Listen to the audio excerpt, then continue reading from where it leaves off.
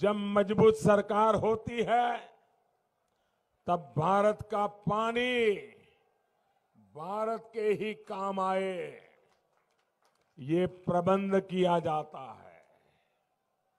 वरना कांग्रेस की सरकारों ने दशकों तक शासन चलाया।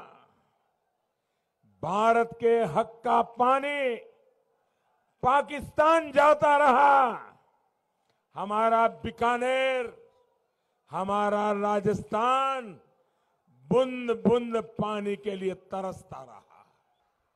साथियों, जो पाकिस्तान हमारा खून बहाए,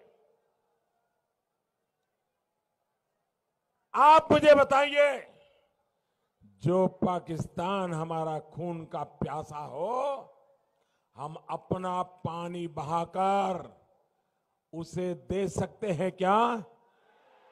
दे सकते हैं क्या?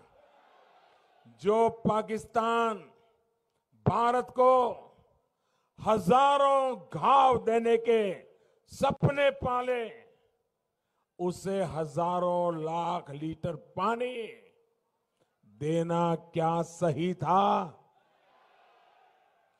वो भी तब जब उस पानी पर भारत का अधिकार है, वो भी तब जब उस पानी से पंजाब, हरियाणा, राजस्थान के बड़े इलाकों की प्यास बुझ सकती है।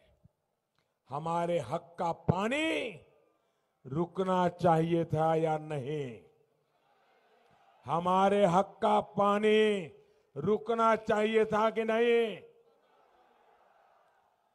जो कांग्रेस इतने दशकों तक भारत के हक का पानी, बीकानेर के हक का पानी, जो पानी तक को रोक नहीं पाई, वो आतंकवाद को रोक पाएगी क्या? अरे पानी नहीं रोक सकते हो। तो आप आतंकवाद को कैसे रोकेंगे? ये जो तुमने पानी रोका नहीं है ना, वरना उसी पानी में डूब मरना पड़ता। साथियों, आपके इस चौकीदार ने भारत के हक के पानी को और आतंकी कारस्तानी को दोनों को ही रोकने के लिए काम किया।